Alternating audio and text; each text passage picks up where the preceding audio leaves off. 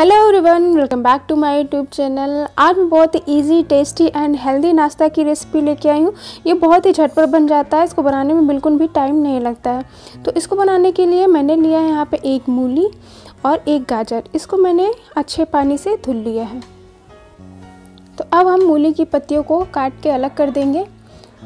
तो आप चाहें तो इस रेसिपी में इसकी पत्तियों का भी यूज़ कर सकते हैं। आप इसको भी उसमें कट करके डाल सकते हैं।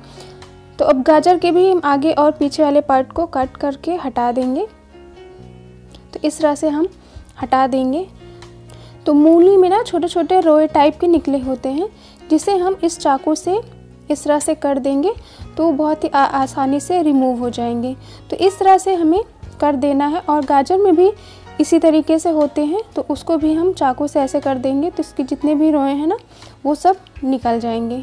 तो इस तरह करने के बाद फिर से हम इसको एक पानी से धुल लेंगे। तो अब इसको मैं धुल लूँगी। फिर मैंने लिया है यहाँ पे एक प्लेट और हम इसको कद्दूकस करेंगे। तो सबसे पहले मैं गाजर को कद्दूकस कर रही हूँ। तो एक गाजर को हम पूरा कद्दूकस कर लेंगे। अगर आप इसको ग्रेट नहीं करना चाहते हैं तो आप इसको बारीक बारीक कट करके भी ले सकते हैं।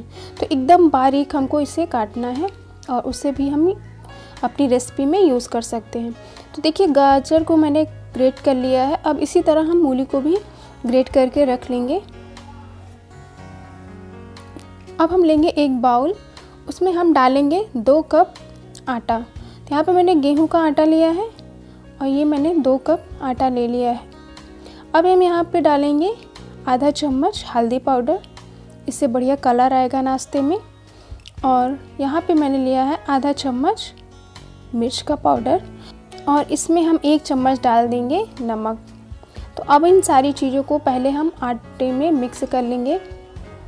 तो देखिए, इसमें सारी चीज़ें मिक्स हो गई हैं।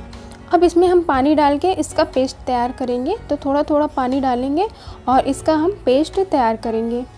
तो देखिए, हमें इस तरह का इसका पेस्ट तैयार करना है। ज़्यादा इसे हम गीला नहीं करेंगे, क्योंकि अभी हम इसमें वेजिटेबल्स भी डालेंगे तो उसका भी पानी इसमें ऐड हो जाएगा। तो अब इसको हम ढक देंगे पाँच मिनट के रेस्ट के लिए। तो देखिए पाँच मिनट हो गया है।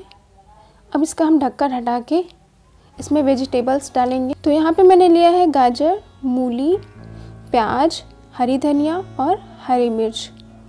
तो सबसे पहले मैं इसमें डाल रही हूँ गाजर।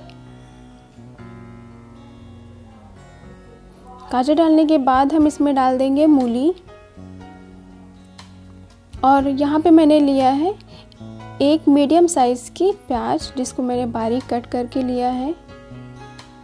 इसको भी इसमें हम डाल देंगे।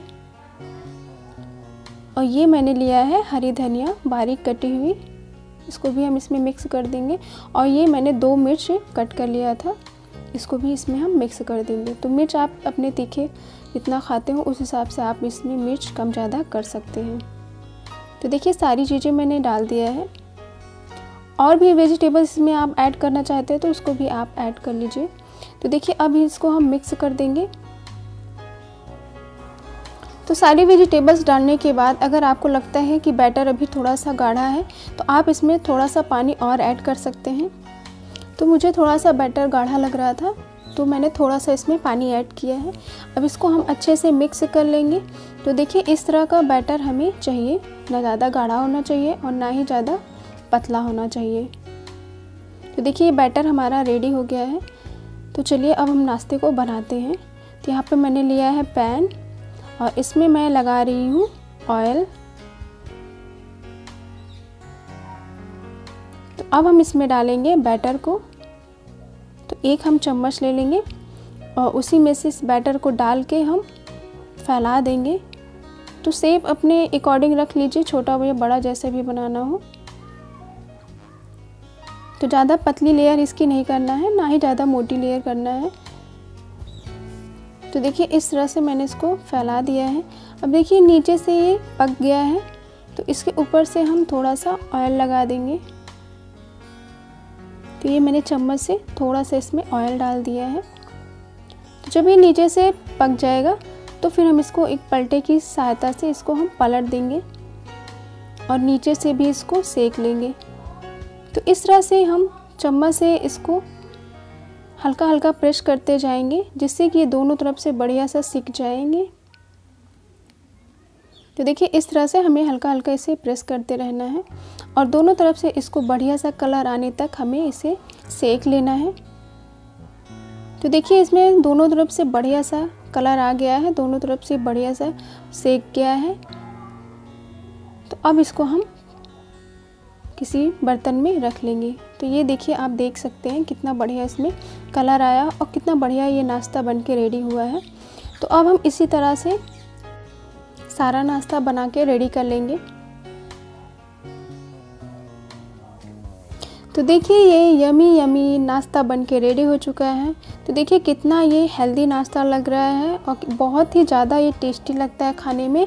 तो आप भी एक बार ज़रूर इसको बना के ट्राई कीजिए और अपना एक्सपीरियंस मुझसे ज़रूर शेयर कीजिएगा। ये नाश्ता बहुत ही हेल्दी होता है क्योंकि इसको बनाने में हम गेहूँ के आटे और वेजिटेबल्स का यूज़ किए हैं और ऑयल भी बहुत ही कम यूज़ हुआ है। आप इसको बिना ऑयल के भी बना सकते हैं। तो इस नाश्ते को आप सॉस के साथ, चटनी के साथ, चाय के साथ, किसी भी तरह से आप इसको सर्व कर सकते हैं।